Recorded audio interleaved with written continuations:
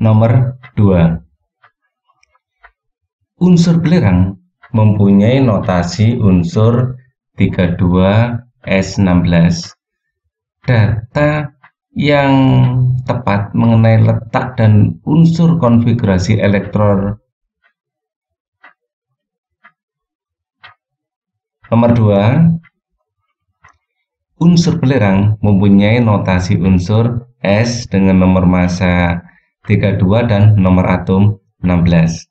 Data yang tepat mengenai letak dan konfigurasi elektron unsur belerang adalah nah, kalau kalian tidak hafal, kalian tinggal bikin 1S ya, 2S 2P, 3S 3P ya 3D 4S 4P ya 4D ini ini mungkin sudah cukup ya. Ini cuma 16 ya. Kalian kasih garis ke sini berarti 1S 2 ya.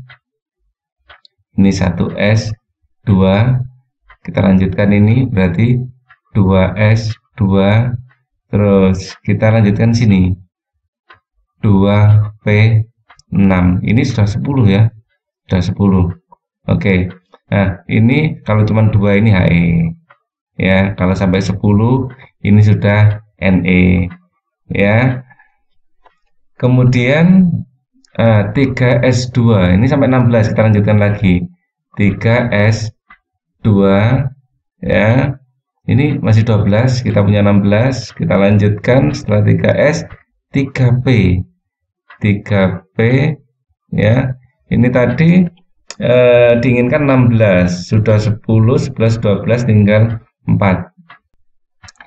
baik ini eh, kemudian bisa kita tulis ya dalam kurung NE ini adalah untuk menyingkat ya dari eh, si eh, kalau 1S2 bila kita tulis HE kalau dari 1S2 sampai 2P 6 boleh kita tulis NE ini 6 ya. Oke kita tinggal melanjutkan di sini. 3S2 3 P4 ya. Ini P4 ya. Kemudian apa yang bisa kita dapatkan?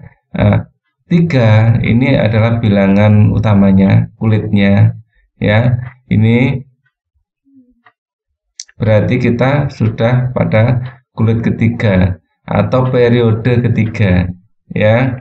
Jadi kalau di sistem periodik ya seperti ini kurang lebih gambarnya. Nah, seperti ini ya. Nah, ini adalah menyatakan periode ya. Ini agak ke atas sedikit ya. Nah, ini ada satu, dua, tiga. Berarti kita sudah sampai pada periode ketiga atau layer kulit ketiga. Ya, jadi periode ini tiga ini semuanya tiga. Ya, Nah, ini SP berakhir dengan P. Kalau berakhir dengan P, ini pasti nah ini golongannya. Ini golongan S di daerah sini. Ini S, ini P, ini adalah D. Ya. Ini yang atas yang ini yang agak naik ke atas ini adalah golongan A. Ini A1 ya sampai 2 ini 3, 4, 5 sampai 8 masih A juga karena ini total jumlahnya 6 ya ini 2 tambah 4 itu 6 maka berarti nanti jatuh pada golongan 6A ya daerah sekitar sinilah ya 6A Oke yang 6A adalah ya jawabannya adalah yang D. Jadi eh, cara kita membuat konfigurasi elektronnya bisa seperti ini ya.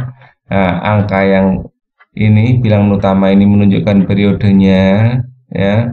Terus berakhir dari berakhir dengan P ya berakhir dengan P ini menunjukkan golongan ya. Kalau berakhir S berarti golongan A juga tapi satu dua ya tergantung uh, banyak elektronnya. Kalau berakhir dengan P berarti ya A juga A bagian yang sini. Kalau berakhir dengan D nanti berarti golongan B. Baik, ini adalah pembahasan nomor 2.